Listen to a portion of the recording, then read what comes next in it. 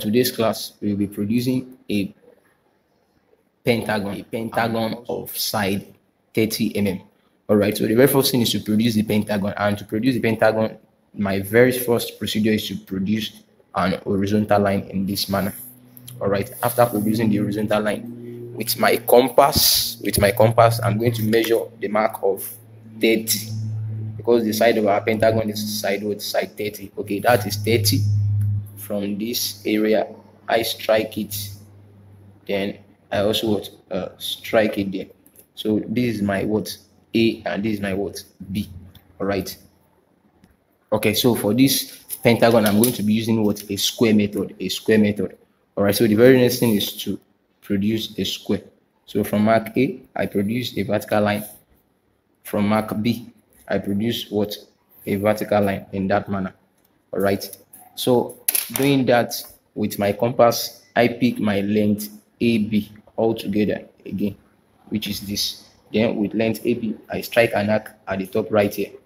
With the same length AB from point B, I strike an arc right here also. Okay, doing that. Okay, so with that same mark, having it that way, I'm going to join this point all together. Now I have my what? I have my square. Okay, so what's the next procedure? The next procedure is to bisect point AB. So I'm going to divide AB into two equals through? Through bisection. This mark here, this mark here. Okay, so then I'm going to what? Join the bisectors all together in that manner. All right. So I don't need this line here. Likewise, I don't need this line here. So what's the next procedure to do now? The next procedure is to pick my ruler and join any of the diagonals. Okay, so in this manner, I join it. So this mark here is my mark what? That's my mark 4. That's my mark 4. All right. So with length AB, yeah, with length AB, in this manner, I'm going to produce this line right here. Then from point B also, I'm going to produce the same uh, thing. So wherever they intersect on the vertical line here, that's point two, that's my mark six. All right, but we are drawing a pentagon, which is what mark five. So I'm going to bisect the distance between mark four and mark six. All right, with my compass, I bisect.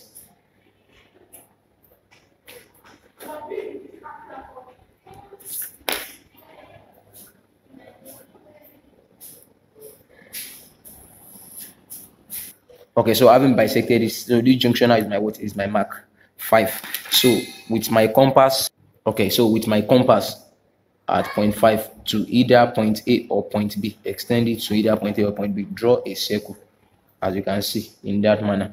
All right, so after producing that circle, the circle on its way out is going to what touch point B and what and point A.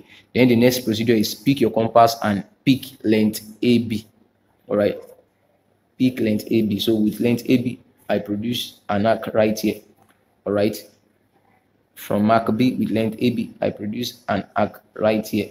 Then from right here also, I what I produce another arc as it is. So I have my what I have my pentagon. So from this junction to this area, all right.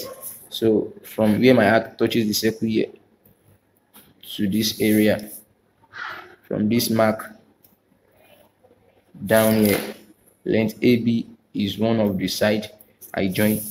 Then length A from point A to this junction I also what I also join.